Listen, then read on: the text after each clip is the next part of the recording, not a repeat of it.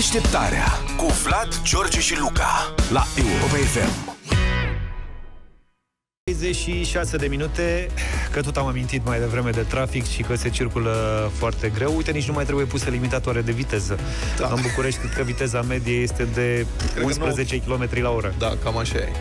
Au început să apară limite de astea de viteză în orașele civilizate în care se și circulă, în care traficul e totuși fluid. Unde ai putea să prinzi mai mult. Da, exact. Da. În Paris, de exemplu, în centrul Parisului, sunt multe zone uh, cu o limită de viteză de 30 de km pe oră. Ceea ce e un prilej de nesfârșite discuții, da, proteste, da, dar sunt și aplauze. Adică sunt și oameni care le convine, mulți.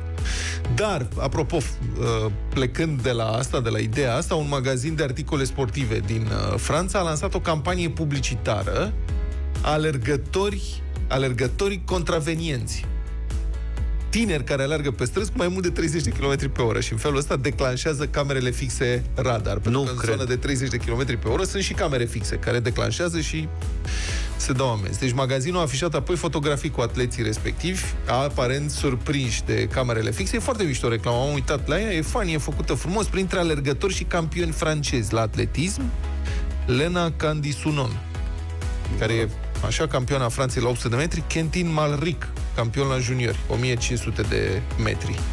Sigur, probabil că e doar o campanie, că teoretic radarele astea nu se declanșează când aleargă cineva pe lângă ele. Dar când?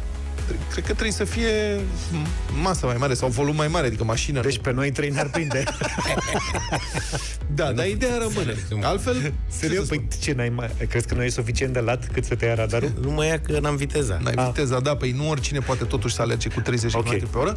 Altfel am fost în vara asta, am fost un weekend așa, fuga, fuga în Paris, nu mai fusesem de mulți ani și în centru mi mi-a plăcut, ca pieton e foarte mișto când mașinile... E adevărat că am luat un taxi la un moment dat ca să mă duc nu știu unde și era taximetristul ăla în spume. Da. Înjurat pe toate felurile posibile, dar francezii sunt mai revoluționari de felul lor, însă pentru pietoni e foarte mișto în centrul orașului. Ai găsit francezi conducători de taxi? Da, bună observație, da.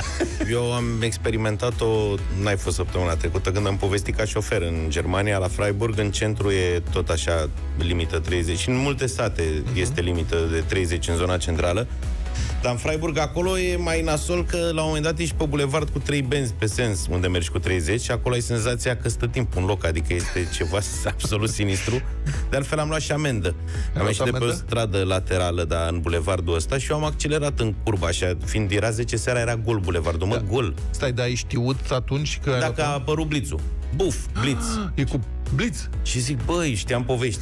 Ia uite, zic, bă, zic, vezi că am luat amendă. Și a zis, nu, eu zic, I-am zis, zic, vezi că am trecut pe roșu. Ah. Zice, păi, dar nu era niciun semafor. zic, ceva e sigur.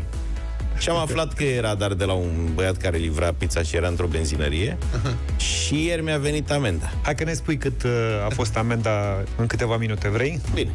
Am zis ce am Vlad, după ce mi-au făcut Ai. poza, eu m-am dus repede acasă. Da. Hai că zic imediat, da. Te ascult. Zic. Să văd cât e amenda. Mm. Și vezi că la ei au așa, că eu peste tot pe unde am mers în Germania, cât era limita, mai puneam eu câțiva kilometri ca la noi, în 10 abatere. Nu cred că Nu la ei, nu așa. și așa, dacă, în merge. oraș era, dacă depășești între 0 și 10 km, aia 30, uh-huh. Mhm. era, nu mai știu, că 20 de euro. Uh-huh. Urmă au 15, 10-15 abatere. 15-20 și tot așa. Și eu acum nu mai știam cu cât am mers. Eu am încercat să găsesc o soluție să plătesc amenda acolo. Nu se poate.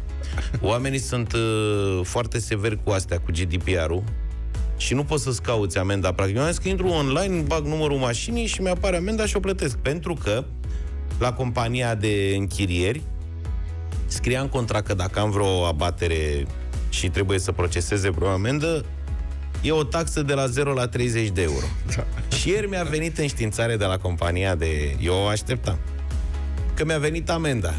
Și m-a amuzat, știi câți bani mi-au luat? Deci era yes. o taxă de până la 30 de euro, da? Da. Do- au luat 27,5. Băi, ți-au făcut discount. Gen drăguț. Păi nu, că nu spunea. Practic spunea au... până la 30 de euro procesarea amenzii. Au făcut un, un efort. Deci o amendă aproape cam cea mai complicată. A fost 27,5. Dificil de rezolvat, da. Da, și mi-au trimis și un link de la poliția Freiburg, sau da. ceva care nu funcționează bizar. Cum nu funcționează? Acolo am un, un ăsta, o să te loghezi uh-huh. nu mai știu cum e. Username și, username și parol, niște cifre. Le-am băgat aseară de vreo 3 ori, nu merge. Cert e că scrie că amenda e 25 de euro și că am depășit cu 12 km la oră viteza legală. Eram cu 42 pe 3 pensi. Fitipaldi. Auzi? Da, auzi? Adică cât timp ai ca să plătești? Păi nu, ăștia de la... Acolo scria în, de la poliție, că scrie în germană, dar știi că eu... Da, ești bun de tot, mai ales cu Google Translate. Mai miros germană. și scria acolo, deci, de la poliție, spunea că 25 de euro plătibili într-o săptămână. Probabil eu nefiind uh, cetățean german, era din 30 august este. Uh-huh. Și eu deja seară mă luase că păi zic, stați mă puțin și cum faceți cu mine? Mi-ați trimis-o de mi mi-au mai luat 27 de euro să o proceseze da. și le-au luat și 12 zile să o proceseze. Hai să explic. Și mi-au zis, acolo în mail scrie că urmează să primesc amenda de la poliție. Deci uh-huh. ei mhm. probabil le-au dat datele mele și urmează să. Aici te-au prins urmează să primești amenda de la poliție. Cred că în urmă cu vreo 4 sau 5 ani am fost cu mai mulți prieteni în Franța, am închiriat o mașină și am umblat pe acolo. Și am încercat să respectăm regulile de circulație, să nu depășim viteza. Ce asta, am încercat să... Lucru care s-a și întâmplat. Așa. Deci am avut șapte zile mașina, am mers, nu știu, vreo 2000 de kilometri și uh, am depășit viteza, unul dintre noi, nu mai știu exact cine, a depășit viteza odată. Pentru că, după 5 luni, a venit o amendă a venit o amendă de vreo 400 de euro. De ne-a stat inima. Și ne-am apucat să investigăm, să vedem ce s-a întâmplat. Depășirea de viteză fusese la un moment dat pe un segment ăsta de drum cu cameră fixă. Nu am văzut acolo că era. Um, nu fusese mare depășirea de viteză. Dar oamenii trimiseseră amenda prin poștă. Prin poșta română. Care Asta a fost. Deci nu a venit în termen amenda respectivă, s-a întors, de pentru care au aplicat penalități, au trimis-o din nou, iar n-a fost plătită în termen pentru că poșta s-a încurcat și n-a livrat recipisa respectivă, s-a întors și după vreo 5-6 luni ajunsese la 400 de euro și a trebuit să plătim 400 de euro cu telefoane la compania și... de închirieri și a zis, noi v-am trimis, ne pare rău, vorbiți cu poșta din România. Cu mine cum facem acum? Păi asta vreau să spun, deci tu ai de un bine link că eu care măcar nu... știu că am deprimit. Ai un link care nu funcționează și știi că va trebui să plătești. Nu știu, fă ceva, că ăștia o să-ți trimită un formular prin poștă și pe TTR-ul peste vreo 7-8 luni, când luăm noi următoarea vacanță da. de vară, îți vine un aviz. Auzi, poate îl văd pe Luca data viitoare când pleacă în Germania, știi? Că l opresc nemții da, undeva. Mă arestează pe aeroport. Da, pe nu, drum. deci vezi că nu e de... nu tu știi că eu am, nu. Știi că pe mine m-au executat silit la un dat, apropo de poșta română și de astea, am uitat odată să plătesc rovinieta. Ok, iar se întâmplă, plătesc amendă, n-am nicio problemă. Și am descoperit, m-a informat contabilul, mașina fiind pe firmă atunci, m-a informat că um, sau banca mi-a executat silit o sumă din cont. Uh-huh. Și m-am dus la bancă, zic, da, de ce mi-ați executat? Ăia nu știau, nu știa nimeni nimic, m-au ca să fac investigații cu compania care executase contul și am descoperit că erau niște executori judecătorești. Mi-a stat inima când am văzut cum adică executori judecătorești. I-am sunat, am vorbit cu o doamnă foarte amabilă, fuse, avusese loc și un proces de care eu nu știam nimic, înțelegi? Deci n-aș fi avut nicio problemă. Domnule, mi-asum, am uitat să plătesc rovineta, plătesc amendă, sunt în regulă. Habar n-am avut, a durat 5 ani ca da, să mă da, execute. Da. Habar n-am avut, apropo de comunicările astea.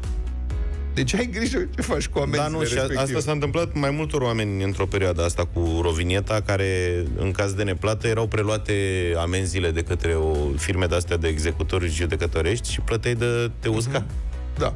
Asta Știți că nici, nici o mașină de la Poșta Română n-a fost prinsă de radar niciodată. Deșteptarea cu Vlad, George și Luca la Europa FM.